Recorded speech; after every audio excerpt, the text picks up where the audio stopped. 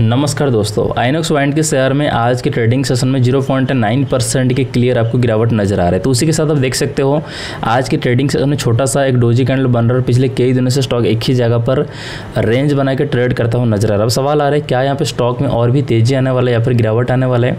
तो अगर ऊपर बढ़ता है तो क्या टारगेट रहेगा? नीचे जाएगा तो क्या सपोर्ट लेवल रहेगा? सभी कंडीशन को आज हम इस वीडियो में क्लियरली समझेंगे।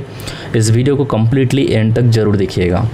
दोस्तों नोटिस कर सकते हो आइनॉक्स वाइंड शेयर स्टॉक आप एग्जैक्टली के हायर है कि कंडीशन बना के स्टॉक ऊपर बढ़ता हुआ नज़र आ रहा है और अपना प्रीवियस के जो रेजिस्टेंस लेवल था उसको ब्रेकआउट करके स्टॉक क्लियरली ऊपर बढ़ता हुआ दिखाई दे रहा है। तो यहाँ पर आप देख सकते हो स्टॉक ने यहाँ से भी एक रेजिस्टेंस लेवल जो कि 176 में था, इसको भी स्टॉक ने ब्रेकआउट करके ऊपर बढ़ता हुआ नज़र आ रहा है और एक ऑप ट्रेंड में भी कंटिन्यू करता दिखाई दे रहा है। तो उसी के साथ साथ जैसे कि आप देख रहे हैं स्टॉक अपना प्रीवियस का रेजिस्टेंस को यहाँ पर ब्रेकआउट करके ऊपर क्लोजिंग कर रहा है काफ़ी समय से। तो संभावना बिल्कुल हाई है यहाँ पर ऊपर जाने के लिए। यहाँ पर एक लाइन में ड्रॉ करो जो कि दो सौ अड़तीस का लेवल क्योंकि स्टॉक ने दो सौ अड़तीस का हाई लगाने के बाद यहाँ पर सस्टेन कर रहा है या रुका हुआ है। तो अभी जैसे हम दिखाई दे रहा है कि स्टॉक ब्रेकआउट करके ऊपर बढ़ रहा है तो इस लेवल को भी ब्रेकआउट करके ऊपर जाने का संभावना बिल्कुल हाई है।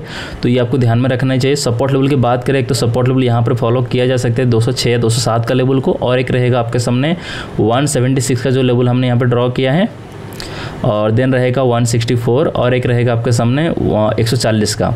टारगेट की अगर हम बात करें कि इस लेवल को ब्रेकआउट करने के बाद क्या क्या टारगेट रहेगा, वो हम समझते हैं। तो जैसो, जैसे कि आप देखिए एक रेजिस्टेंस लाइन यहाँ पर भी था 190 191 के पास में इसको भी स्टॉक ने ब्रेकआउट किया है।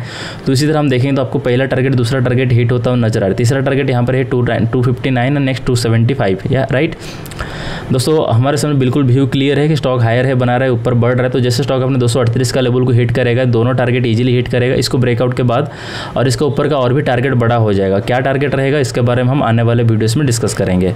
स्टॉक में बाय सेल होल्ड करने की सलाह सुझाव नहीं है वीडियो एजुकेशन पर्पज बनाया गया तो धन्यवाद दोस्तों।